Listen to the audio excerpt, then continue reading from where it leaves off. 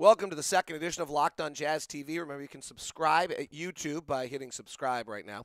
This is on Marvin Williams, the newest pickup of the Utah Jazz from the Atlanta Hawks in the Devin Harris trade. Six-nine small forward. Here's what the coaches love about him just the professionalism. He's in control at all times. He plays the game so smart. And I give you this first play. He just brings the ball up in transition at six-nine, able to do that, sets up the offense, gets into the UCLA cut, draws a foul on Durant. These aren't all wow you plays. Here he's on the near side in the corner and as the Jazz swing the ball to the other side, he's wide open, well balanced, hits the three. Tyrone Corbin said it. When we move the ball from strong side to weak side, Marvin benefits. Next play, ball fakes Matt Barnes, steps into a 17 foot jumper, an astute play right there by Marvin. Here, you look at the Jazz are in a set. Marvin's flashing in the post on the right side. He now gets in the block. He works the, through a double team, fades back. It's an air ball. His post game's not great. I thought I'd show that he was human. Uh, here we have Marvin against a zone on the near side, and look at him, wide open, balanced, buries it. Let's look at him a little bit defensively. This actually first play, and, and is a whole sequence. What the Jazz like about him defensively is that he battles. This is the sequence where I'm just showing you. Here's Durant in the post.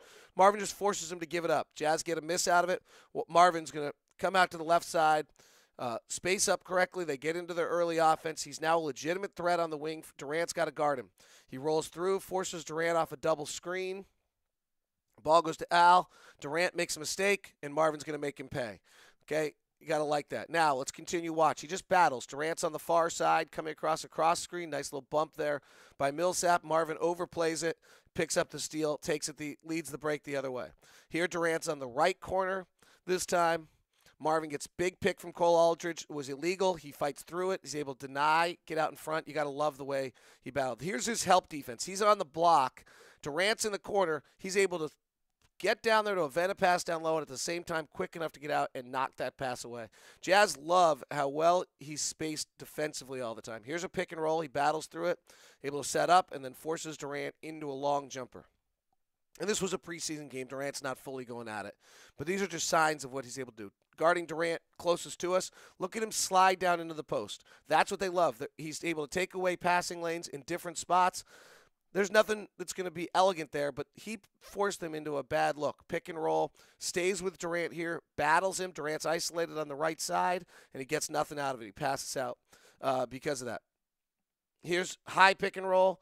He's able to fight through it. Good help defense from Mo. Then he helps Mo back the other way, and he's back up on Durant, and they swing it out to the other side. Mo Williams actually fell down on that play, but you can just see the battle there, and it's not always perfect. Here's the Clipper game uh, last night. He's guarding, or two nights ago, he's guarding Matt Barnes, and he's now into the paint. Look at him. He's on that right elbow. That's where he's supposed to go. He's able to take away passing lanes, steps out, prevents one, forces Barnes into the next shot, which he makes. But again, that's playing defense the right way. I love this one. He's on the bottom right, and he's guarding Barnes, but able to come down and helps out defensively to force a miss. Those are the kind of plays that really make a big difference in regards to team defense. Here he is. Look at him. He steps up.